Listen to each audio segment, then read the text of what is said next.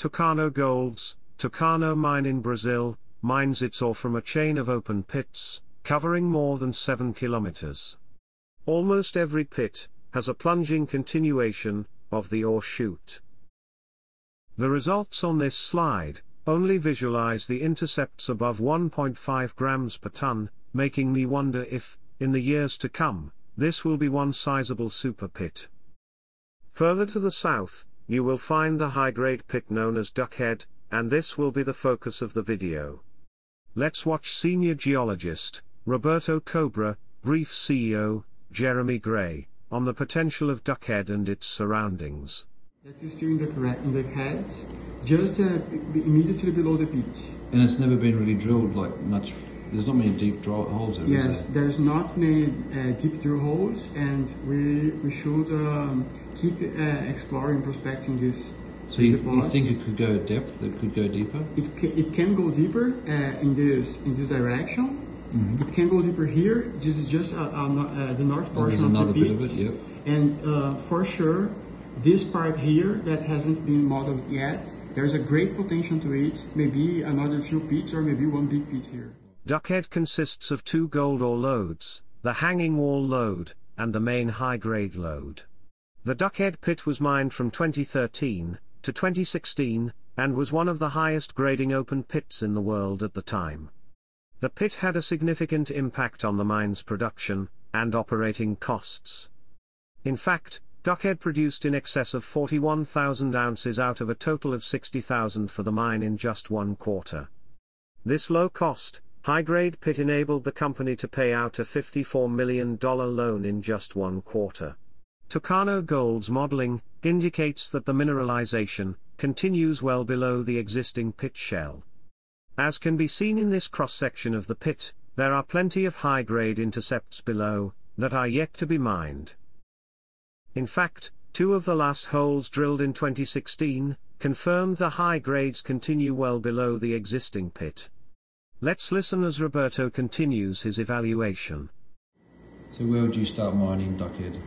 Uh, uh, we, we should, I think that we should start mining this, this part here. Yep because uh, uh, we would have to, to do uh, uh, the minimum pushback just to get this one. Yeah. And we should drill make a drill hole here in this yeah. line because it would cross all the all the bodies and confirm the data. Yeah. Uh, and here and after we, we've got um, this area cleaned, maybe we should uh, make a pushback, a larger pushback here in order to access this high grade ore here. That looks much higher grade there, yeah? Yeah, yes, a little bit more. Yeah. Because in this purple, is the wow. the hotter the color, the greater the grade. Mm. But they would access. But how many holes have been put into this area here? Not many, huh? No, not many yet. Seriously, that's crazy. But but this data here, we could uh, confirm this. this but, but, why is it so high grade in that area where they mined? And not here, you think? Was it just because of lack yeah, of drill holes? It's just because we are missing drill holes. We are really? missing data, yes. The target that Roberto was pointing out in the first clip which could be two additional pits or one large pit, will be the area known as Goosebumps. This is a very interesting target, as the results to date are consistent with those of the Duckhead deposit. The following clip is a little longer. In this clip, Roberto will cover some of the areas around Duckhead. And this will be a short video aimed at demonstrating the current understanding of the mineral resources found in and around the Duckhead target. Here is the Duckhead pit itself, and these are the potential ore bodies uh, around it. Okay. At this first moment, I will show you the the samples that we have that are above half a gram per ton. As you can see, the pit area has been uh, very well sampled. And from the drill hole traces that I'm showing you now, you can see that the area as a whole has been uh, exhaustively probed. You know. Now I'm showing you the block model itself. Okay. Uh, the Duckhead target body. Yeah, this is the, the body here is very well modeled. And we understand that uh, it may not have lateral and further down continuity. Okay, because there's lots of through holes already. But there's great potential uh, in the areas surrounding it. I'll show you all the in situ resources huh? here, here, and here, and also in the in these eastern part that has been partially mined out. Okay, uh, the report of all the resources show that um, above a cutoff grade of 0.5 grams per ton, we may have uh, more or less 140,000 ounces with uh, a grade, a mean grade of 1.6 grams per ton. This area here, oops, here, I will do a cross section. Uh, has been already uh, classified as rural reserves. Okay, uh, it amounts to 30,000 ounces of measured and indicated resources, and all the, the other resources are classified as inferred, not constituting any kind of reserve yet but uh, they amount to more than 100,000 ounces. Uh, and we are very confident that they may have the same potential that was displayed in the Duckhead target. Um, I will do a cross section in this one here just for, just as an example to show you that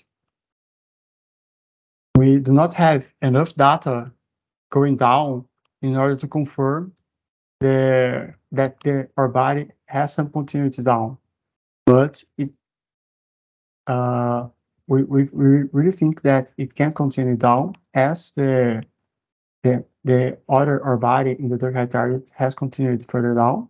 So uh, when we say strategic drilling, would be a couple drill holes coming from the surface to here, uh, going 200 meters down, in order to confirm this continuity of the mineralization, okay? But as a whole, the target areas, uh, they, they really show lots of potential.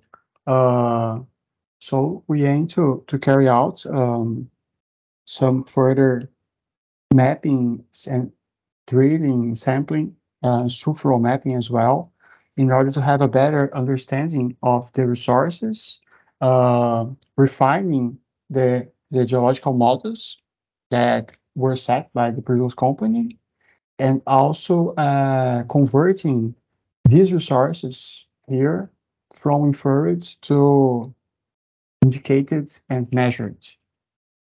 And we are very confident that with uh, uh, through through drill hole sampling, uh, we can already have um, a better understanding of their bodies and everything while we can uh, access early the, the, the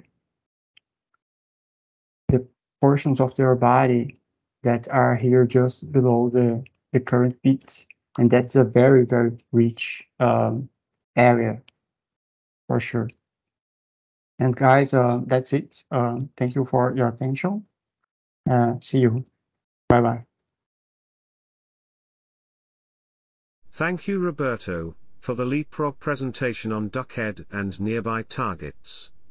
The key takeaways for me, were the very high-grade nature of the Duckhead deposit, along with the drilling results demonstrating there is plenty of gold still in situ, and more high-grade deposits, likely to be found in the surrounding area.